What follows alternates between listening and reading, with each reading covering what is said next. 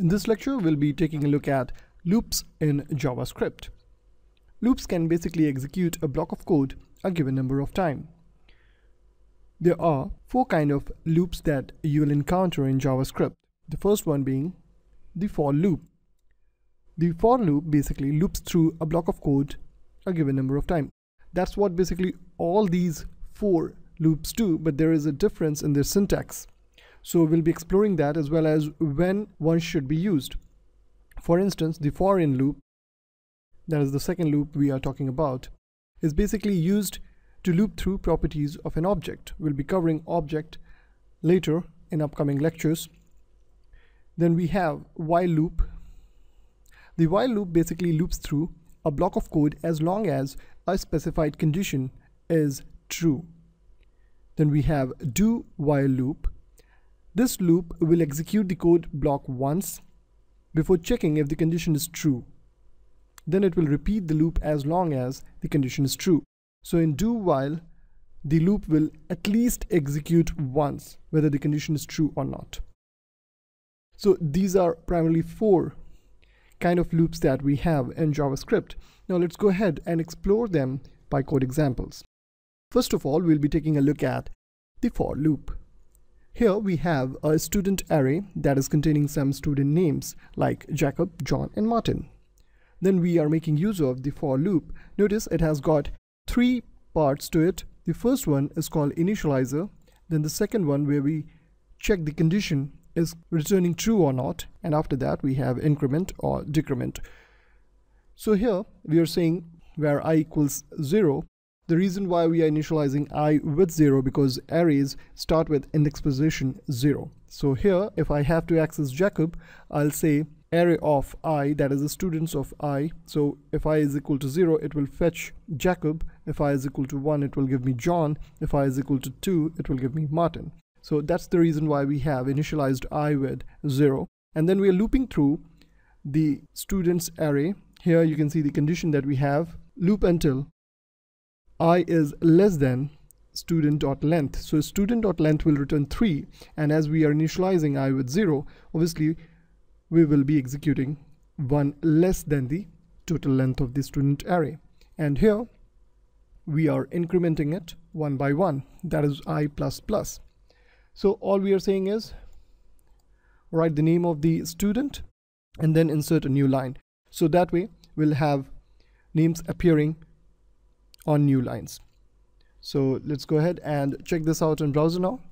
And here we have the name of students coming up, Jacob, John, and Martin. Now let's go ahead and explore the other kind of for loop that is for in loop. Now the for in loop as mentioned earlier loops through the properties of an object.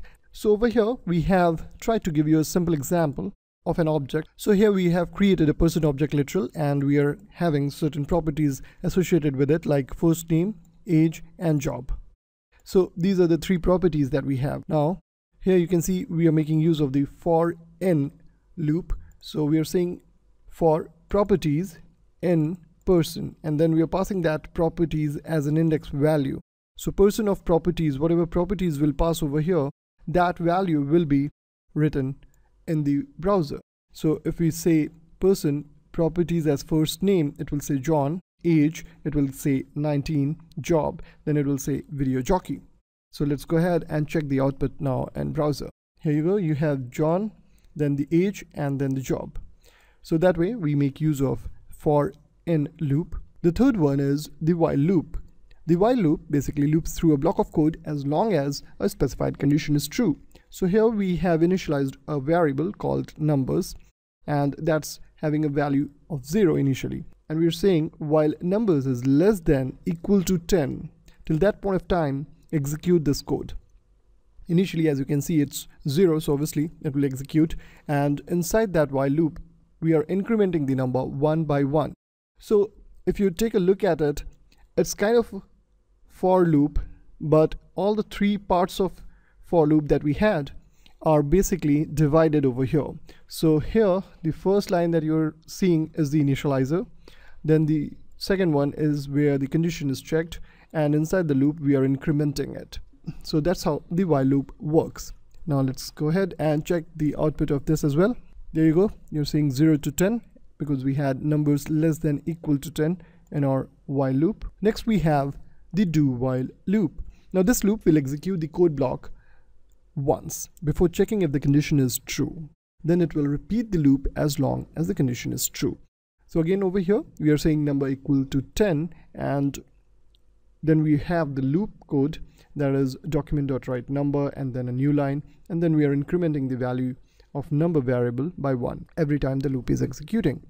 And here at the end we have the condition.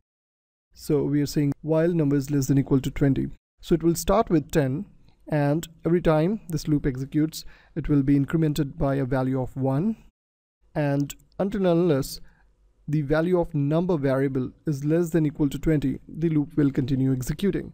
And once it's greater than 20 the loop will halt its execution.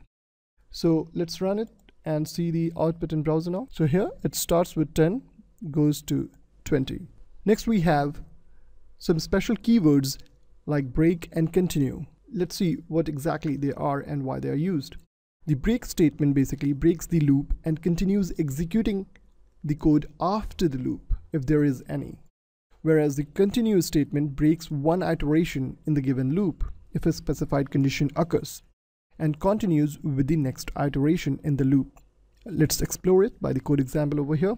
So here you can see a for loop coming up and here we are saying if i is equal to 5 then simply break this loop.